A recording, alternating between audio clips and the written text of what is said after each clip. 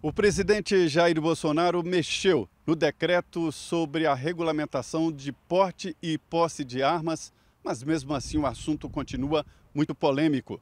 No Congresso Nacional, a consultoria legislativa diz que o governo invade a área legislativa. O presidente teria sim poderes para regulamentar o que foi decidido na Câmara dos Deputados. Este é um assunto polêmico demais o presidente Jair Bolsonaro discutiu isso durante a campanha eleitoral, mas mesmo assim o Congresso entende que tem que ser a palavra final sobre legislação neste setor. O presidente, segundo líderes, teria força total para levantar o assunto, mas não definir através de decreto um assunto tão polêmico e tão sério. Três frentes contra o decreto do presidente Jair Bolsonaro. No Supremo Tribunal Federal, a ministra Carmen Lúcia pediu explicações e vai decidir. Uma ação também na Justiça Federal e, por último, no Congresso Nacional.